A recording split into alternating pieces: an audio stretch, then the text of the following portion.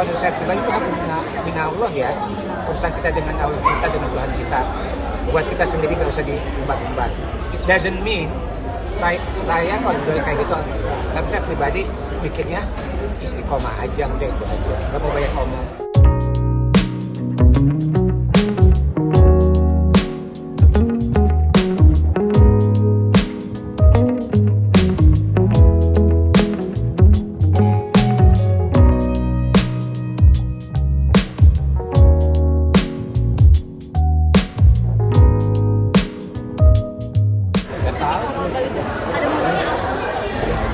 baru dari Amerika sebulan setengah kan Kami ke depan. ya tiba-tiba aja pengen potong rambut udah gitu aja potong rambut kumis nunggu ya udah gitu aja.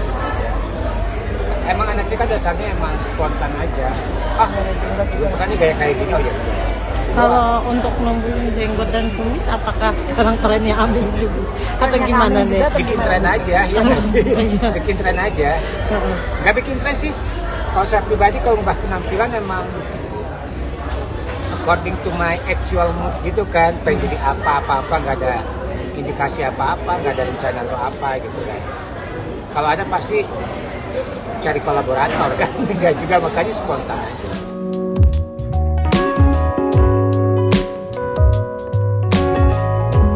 Namanya proses yang namanya self enlightenment itu kan pencerahan diri itu kan tiap orang beda-beda ya.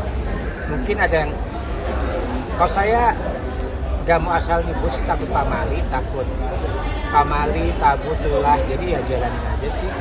Dan sebagai manusia kan kita berusaha untuk konsisten ya komit.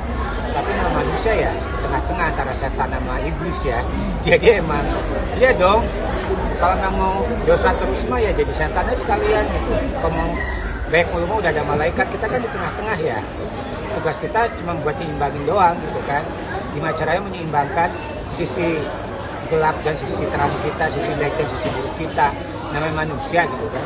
Jadinya kalau tiba-tiba makanya banyak yang agak agak aneh gitu setelah meng, mengklaim dirinya apa tanpa bermaksud menghakimi ya. Eh, mengklaim dirinya seperti baik yang orang wah udah udah berpindah ya udah berubah ya tiba-tiba melakukan kesalahan kok nggak sesuai dengan tampilan nggak sesuai dengan atribut gitu kan. Ya namanya manusia halu banget ya. Manusia pasti bikin salah selama hidup gitu kan. Sesuai juga dia bikin hal-hal yang baik juga. So tahunnya saya sih jadi manusia kan emang gimana cara kita mengatur seimbang hidup kita ya. Jadi orang-orang hijrah di luar sana gitu kan. Menurut saya itu kan kalau saya pribadi itu mina, mina Allah ya. Urusan kita dengan Allah kita dengan Tuhan kita buat kita sendiri nggak usah diumbar-umbar.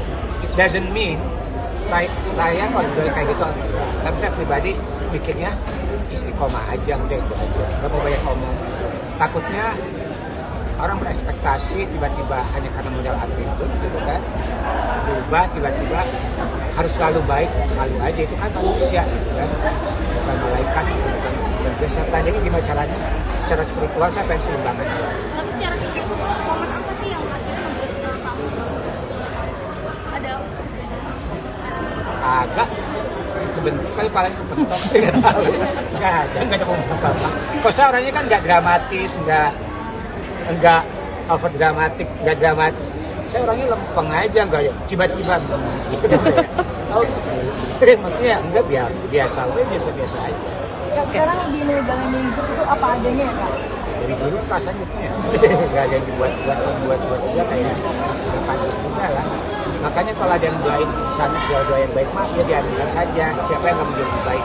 Tapi kalau saya pribadi tanggung saya lebih ke Tuhan saya bukan ke siapa siapa manusia mah kadang mengecewakan kan. Jadi ngapain melakukan pembuktian terhadap manusia